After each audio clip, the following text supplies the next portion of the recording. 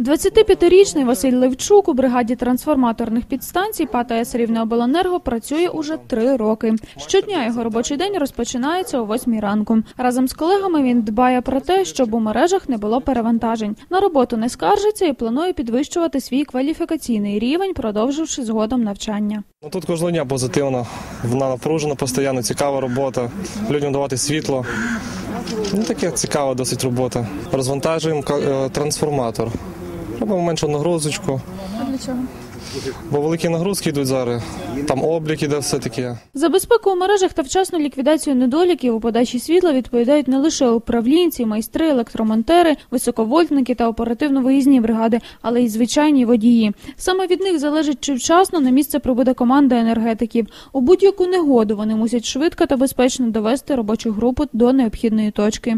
Вот позапрошлый год, когда морозы сильные были, зима, да, и в 30 градусов мороза надо было срочно выезжать. Это было и затруднительно, и так нелегко. Голова правління ПАТ АЕС Рівнеобленерго Вадим Кухтій розповідає, у компанії якість та надання послуг для населення є основними принципами роботи. Це цьогоріч і підтвердила міжнародна сертифікація за трьома напрямками, яку ще досі не пройшла жодна з компаній в Україні. Також у нас видатна подія в цьому році була е, сертифікація компанії за трьома міжнародними стандартами ISO. Це перша в Україні обленерго, хочу сказати, яке сертифіковане по трьом міжнародним стандартам. Серед інших досягнень вдале представлення рівненських енергетиків на міжнародних змаганнях високовольтних бригад у пензі. Але чи не основним приводом для гордості компанії є освоєння у цьому році 40 мільйонів гривень на покращення ліній електромереж, адже це значно підвищило якість надання послуг для населення. У цьому році ми е,